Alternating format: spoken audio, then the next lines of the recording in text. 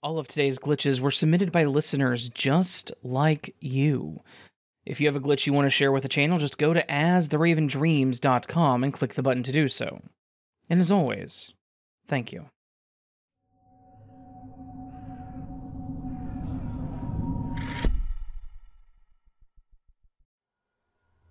Let's start with the backstory. In February of 2019, I was in a bad car accident. My Tacoma was totaled as I went through a yellow light, and someone turned in front of me. I swerved out of the way and they hit the bed of my truck at a weird angle. My truck smashed into the light post on 52nd Street and McDowell, on the border where Scottsdale meets Phoenix. Like any car accident, it happened so fast and so unexpectedly. I was extremely fortunate to walk away from this accident with no major injuries, although I was shook up a bit and did have some whiplash. My truck looked like a grenade went off in it. Still, to this day, I have no idea how I survived. I thought I had died for a second as I remembered a weird sense of euphoria and then heard an insane buzzing, almost like a freight train. However, to my surprise, when I came to, I looked in my rearview mirror to see that I was alive and was able to get myself out of the truck to check on the other driver. Fast forward a couple of days, and I was spending a lot of time alone at my apartment, with no vehicle, as I dealt with the insurance formalities, and I took that week off of work. Everything felt very off for this entire week. I chalked this all up to a haze and maybe even a slight concussion from the accident, even though I know I remember the exact events that just weren't quite adding up. A week or so had passed. I finally got a rental car and I was getting the urge to get out of the house. I ran a few errands, took my dog to the park, and visited a couple family members who were a bit concerned with me since the accident since I had kind of gone dark for a week or so since the accident. Later in the day, I picked up my uncle, who was only three years older than me, and basically like an older brother, so that we could go out and grab a bite to eat. We stopped at Circle K since I had driven all over town at that point and needed some gas.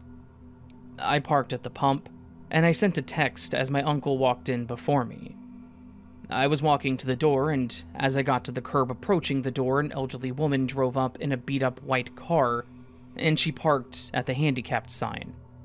She got out of her car right about as I was nearing opening the door for myself.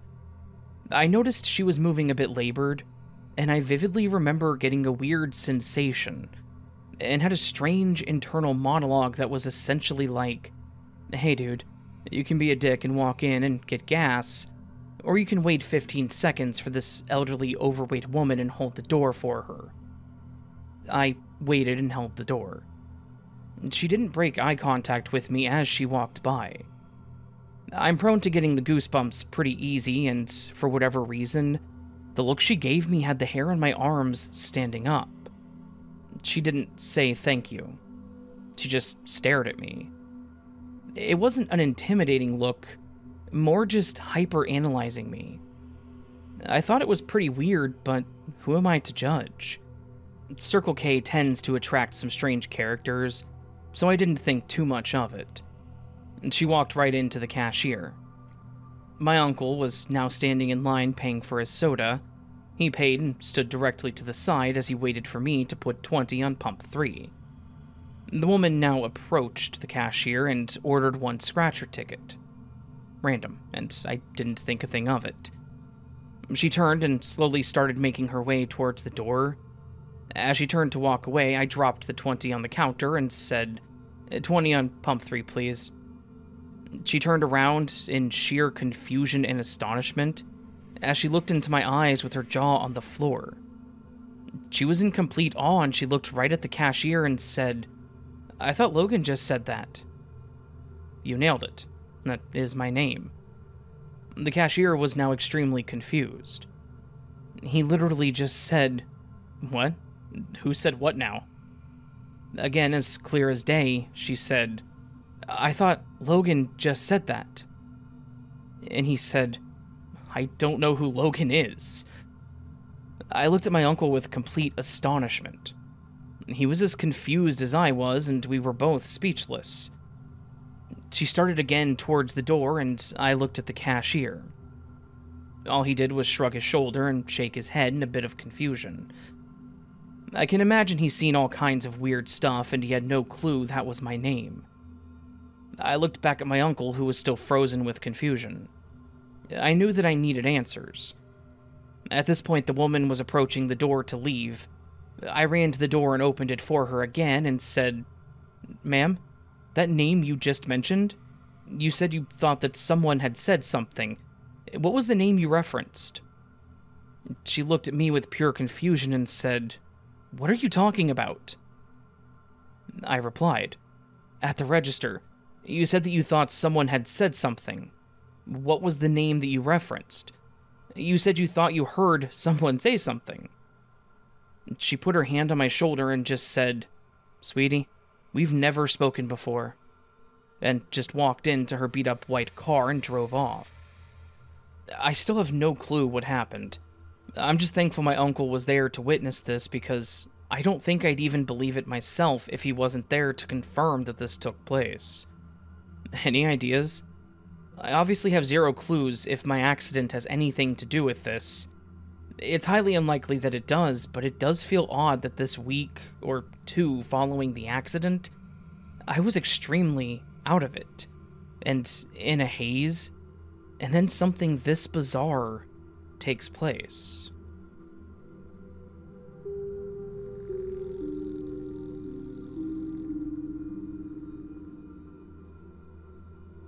Hi, Raven. I don't know if this is really considered a glitch, but it is kind of interesting. At least to me. A little background I am a quote unquote stasher, meaning I stash things in drawers or cabinets, places they don't really go. Given that, I lose a lot of things. When I do lose things in my house, I obviously look for them, but I never find them. But if I just sit down for a couple of minutes and think about something else, the location of the object pops into my head. When I look for the object in the place that popped into my head, and it is always there.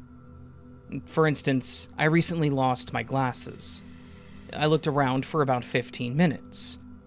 I know you would think that I would just sit down and use my find things method. I finally sat down and thought about something else. Suddenly, I pictured my glasses underneath my dresser. I went to my bedroom, got down on my hands and knees, shined my phone light under the dresser, and there they were. I'm kind of famous in my family for finding things. My mother called me a few years ago to ask if I could think of where her diamond bracelet had ended up. Immediately, I pictured in my head flowers with brown underneath them, like dirt. I told my mother this.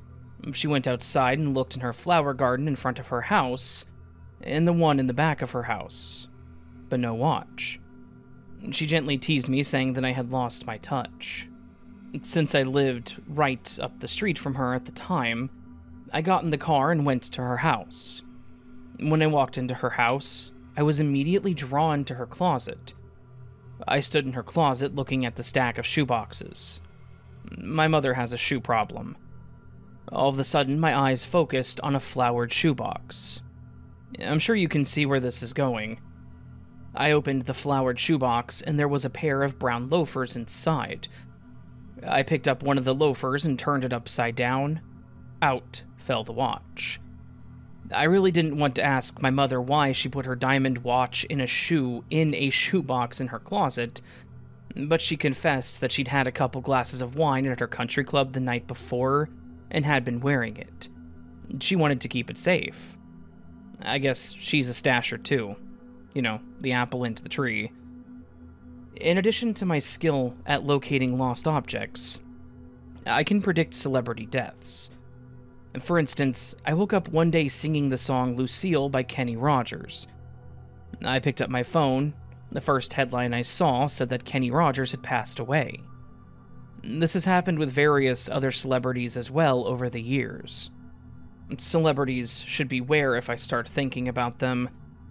I don't usually specifically feel regular people's deaths. However, very recently, my ex husband and my daughter's father was very close to dying from cancer. The night he passed away, I suddenly woke up because I was very thirsty. I don't have a clock in my bedroom, except for my phone, which I didn't look at. I went into the kitchen to get a bottle of water and said to myself, Is it 4 a.m.? I looked at the clock, and sure enough, it was 4 a.m. The next morning, I got a text from his mother saying that he had passed away at 4 a.m. He died in a time zone that's an hour ahead of mine, but it was still 4 a.m. Sometimes I will get a general weird feeling. My sister calls it a disturbance in the force. But something always happens soon after the weird feeling starts. Sometimes with some person close to me, and sometimes not. Sometimes a car accident near my house, or sometimes a tragic event somewhere in the world. And that sort of thing.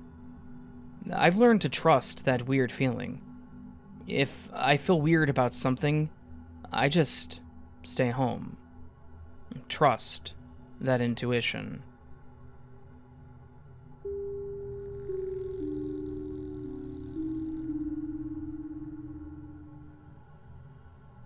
This is a true account of a teleporting knife. This was a special knife. It was my pocket knife. A very beloved pocket knife that was used frequently on a daily basis for utilitarian reasons during my day to day operations. It belonged in my pocket as much as my wallet, keys, and change. I used it often in my line of work, which is putting in water lines. It was just the right size and usefulness that made it one of my favorite pocket knives ever. The knife was being used one day as usual, but was accidentally left in the muddy ground. I had not realized it was left on the ground until after coming home. I was laying in bed and realized I'd forgotten my pocket knife at work that day. I had used it to clean my excavator tractor tracks, and then I stuck it in the ground. That evening, I remembered that I had not retrieved it, and the realization that it was still on the ground was disheartening. To make matters worse, I also remembered that I had even unknowingly ran over that area with the tractor, burying it deeper in the mud. I knew that evening after my recollections of the day that my beloved knife was forever gone. I was truly saddened by the fact of my negligence and wished that I had it back. I went to sleep, upset by my mistake. The next morning, my wife came into the bedroom with coffee and a question. To my surprise, she asked me why there was a muddy opened knife on the countertop, which was not there the night before.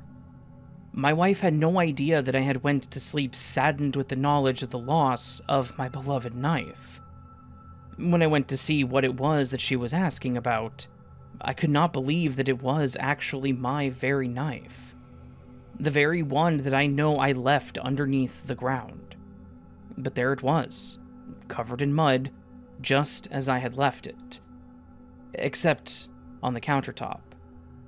I never carry an open pocket knife. I always clean it and close it before putting it back in my pocket. I remember it was in the ground. No one brought it back, so how did it get on my counter? I have to wonder if a loving presence, possibly my recently departed dad, somehow brought me back my beloved knife that was at least six miles away and underground. I still have the knife and am very thankful to say that it continues to still get used daily.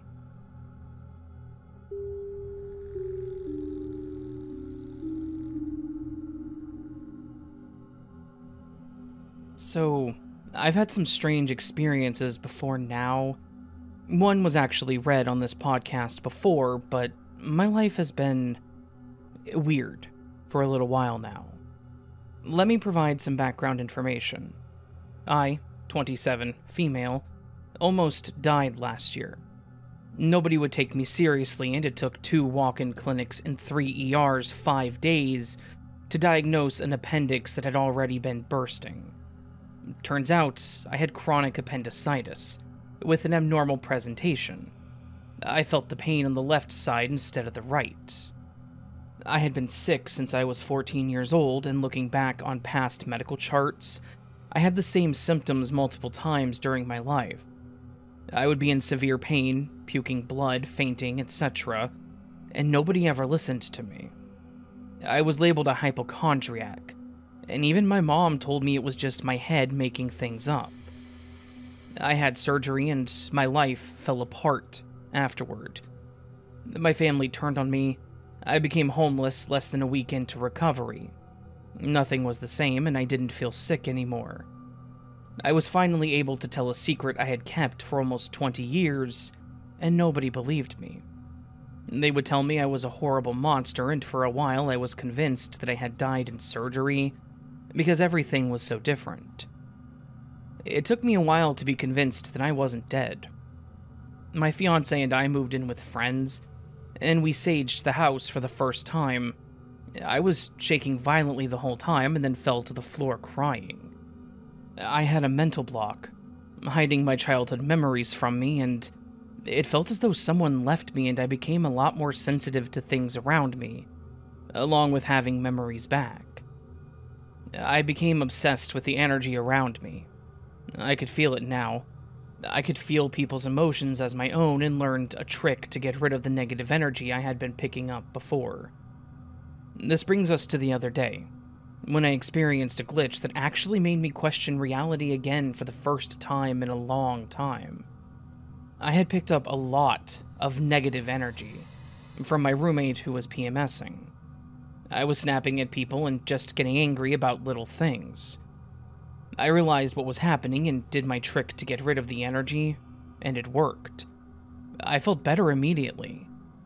But then I noticed my roommate's dog's eyes and saw that the one eye had a chunk of blue in it. I pointed it out to my roommate and she said, Yeah, he's got a pie colored eye. And I was confused.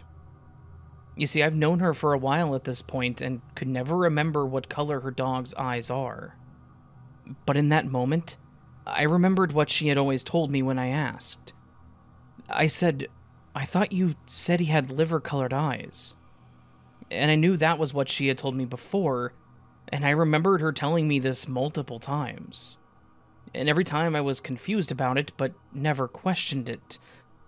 Because what the heck does a liver even look like? Liver colored eyes doesn't make sense at all.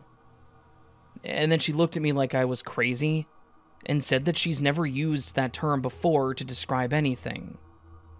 I started doing some research on it.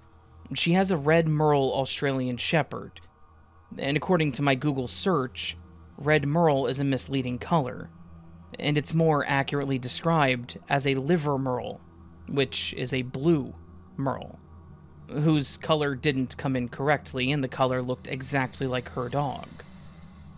Her and her fiance had never heard the term before, and the only time I had ever heard the term is when she was describing her dog's eye color to me. So, how did I know an obscure, rarely used term for her dog's coloring? And why can I suddenly remember so clearly what she had told me his eye color was now, when I could never remember before? Did me clearing the negative energy from my body send me to an alternate reality where the only difference is my roommate's dog's eye color? Sorry if this story is confusing. I tried my best to get this out coherently. Thank you for reading this. It's nice to have someone to tell that won't just think I'm crazy.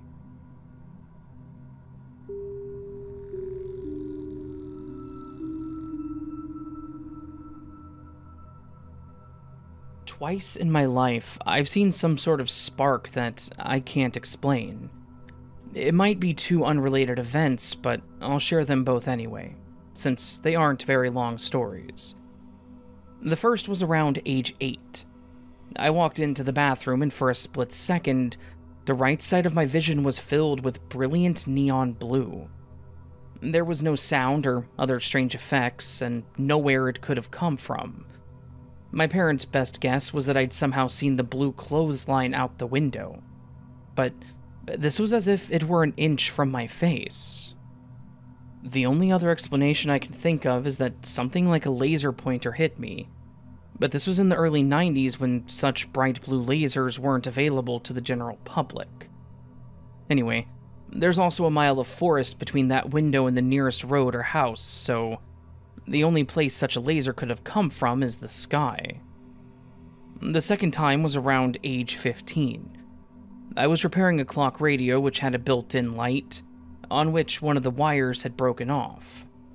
I had opened it up on the kitchen counter, the only available workspace at the time, and heated the solder joint to install a replacement wire. As soon as the wire touched the solder joint, there was a bright white flash from the other end of the wire. This wasn't a simple electric spark, though. For one, it looked completely different, more like the end of a sparkler. It was much, much brighter than any electric spark you'd get from a household outlet. It also made no sound or smell, and it lasted only, I would estimate, a millisecond at most. The strangest part is, I can't think of how this spark was created. The clock wasn't plugged in, and had no battery. The area that I was working in wasn't near any capacitors that might have held a charge. The other end of the wire, where the spark actually came from, was just sticking up in the air. If it had been a normal electric spark, it should have been at the point where the wire touched the circuit, not at the other end connected to nothing. This only happened once. Touching the wire to it again didn't yield any more sparks. The light circuit was completely fried, though. No visible damage, but it just didn't work at all when previously it had worked fine if I touched the wires together. I've done countless hobbyist electronic tinkering in the 20 years since, and I've never seen anything like this again. I know it sounds like I just made a mistake, but electricity just doesn't behave that way.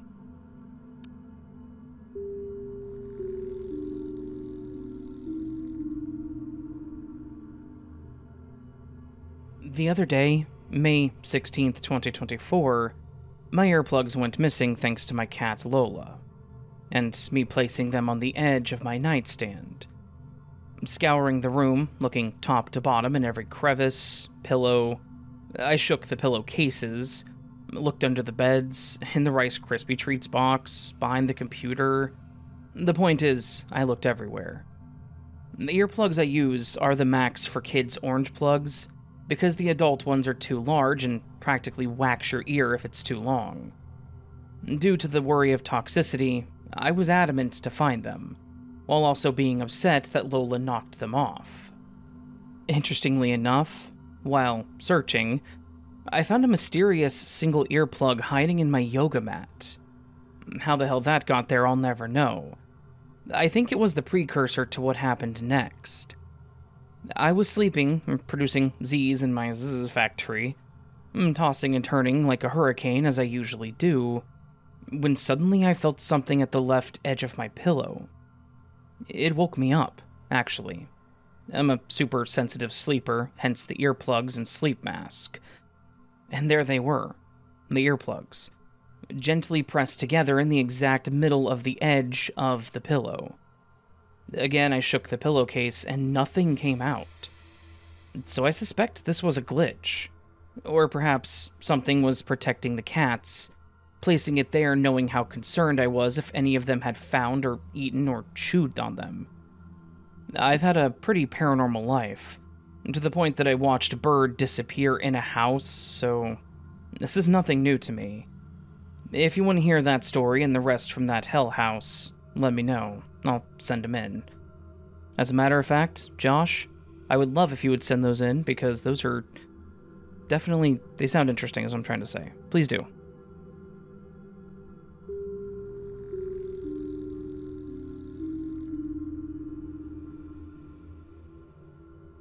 I've posted before about how I love to crochet. That I crochet especially when I have to wait at a doctor's office. Well, today was no exception. But this time I was going to be there for far longer than any other doctor's appointment.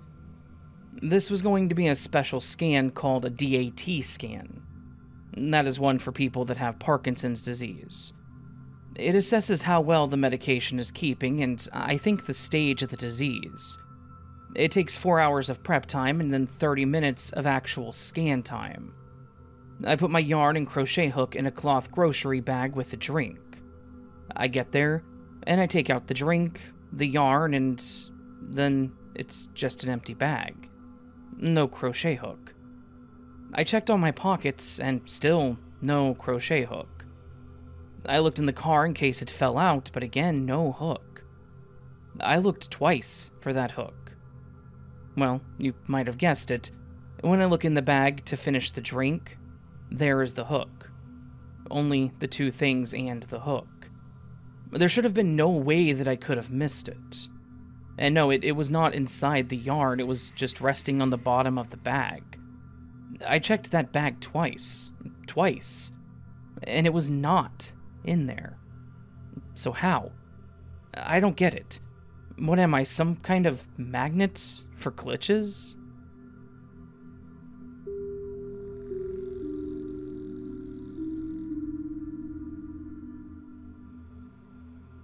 So, I've been listening to your stories lately and absolutely love this kind of stuff. It's fun and fascinating, especially since I'm no stranger to weird paranormal happenings for most of my life. And we've experienced a bit of paranormal stuff in this current house. I'm not sure whether to chalk this up to paranormal, glitch, or something else, but all the same, it's weird. This is a strange thing that happened to my 14 year old daughter just recently. She had received a pair of jeans for Christmas this year from her grandma, and she really liked them. And she had worn them several times before this incident. All of a sudden, one day, she can't find them. And so she turns the house upside down for two months. Over and over again. Determined that they must be somewhere because where else could they be? And my house is not the cluttery type either, so it's relatively easy to find stuff. Now, here's where things get odd. She walks into our TV room the other day, and there my puppy is in the middle of the room chewing on the top of the jeans. What the hell? I keep thinking that she must have dropped them under the couch, or something, but she swears she took the couch apart and left no rock unturned in our house, several times over. My puppy won't climb the stairs in our house either.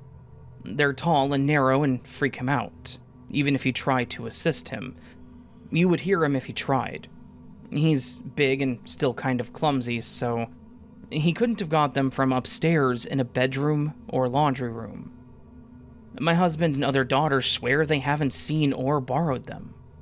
And, like I said, my house is quite tidy and organized, so there really isn't anywhere for things to hide.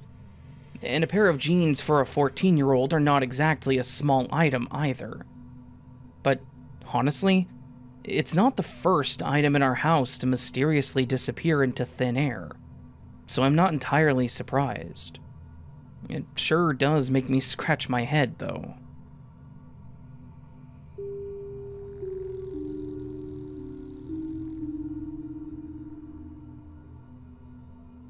So, how about this one?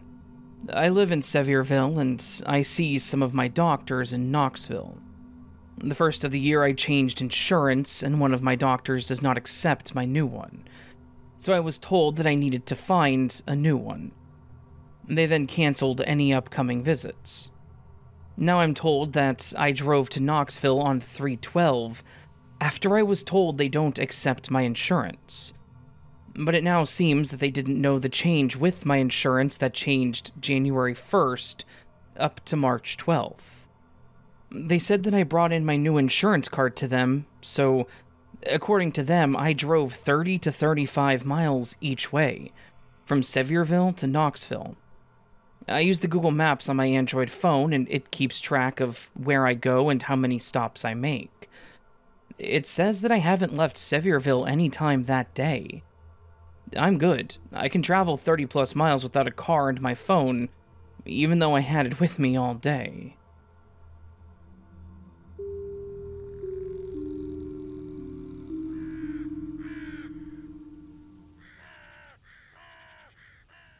So, that, my friends, was a collection of Glitch in the Matrix stories for this week on this beautiful Tuesday, May the 28th.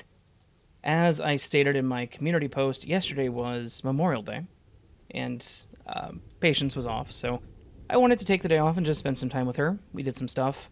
Uh, I got to play lumberjack, cutting branches with a hatchet um, in the front yard.